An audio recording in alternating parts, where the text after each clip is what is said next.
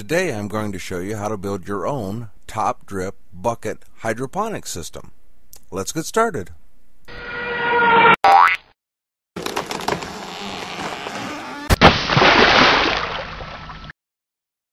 The items you're going to need are a 5 gallon bucket, which can be purchased at just about any hardware or home improvement store, a mesh pot bucket lid, and a General Hydroponics GH Farm Kit item number 4116. These can be purchased from your local hydroponics store or on the internet. For your convenience, I have links on my website. I have a link to my website down in the description box. You'll also need a few more items such as Hydroton or your favorite grow media, hydroponic nutrients, a small aquarium air pump. No water pump or timer will be necessary for this project. Now here we have the mesh pot bucket lid. A little more on that later. This is the GH Farm kit. It will have your pumping column support tube, your drain level tube, and a clear air line. This is the pumping column. And the drip ring. The package will also contain the grommet and the DLT clip. They just call it that. It's actually the drain level tube clip.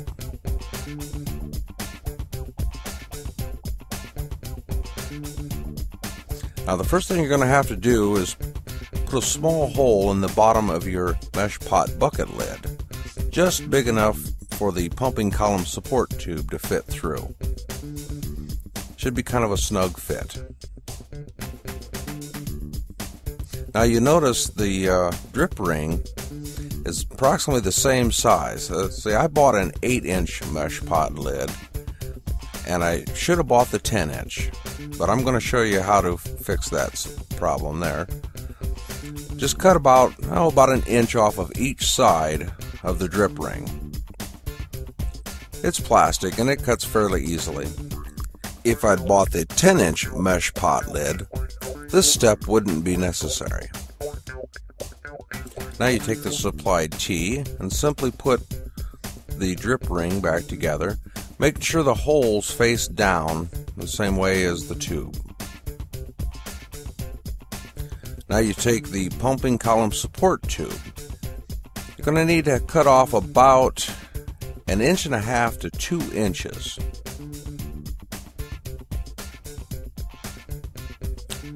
And then you take the pumping column and cut off an equal amount. Once again, about an inch and a half to two inches.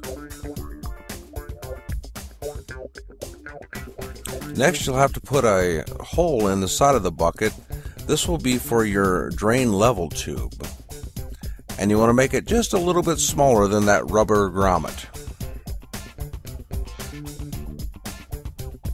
Insert the grommet into the hole you just made. And put a small hole up top there for the DLT clip. Put that directly above the hole. Now insert your drain level tube. This will tell you how much hydroponic solution is in your bucket and it'll also allow you to, to drain your bucket when you want to change a hydroponic solution or so forth. This just sticks in there just a little bit. Okay, now you're going to want to fill your bucket with about two and a half gallons of hydroponic solution. Put your pumping support or pumping column support tube in there. Now insert your pumping column. Watch out for the little clips, they kind of want to catch a little bit.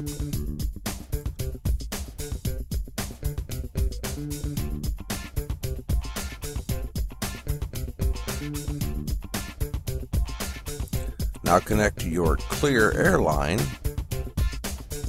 Of course, the other end's connected to your small aquarium pump. And you notice I've already got Hydroton in the mesh pot lid already. You can see it's already starting to work. As the bubbles rise up through the pumping column, it brings the hydroponic solution up with it. We attach the drip ring, and you see there we got a working system.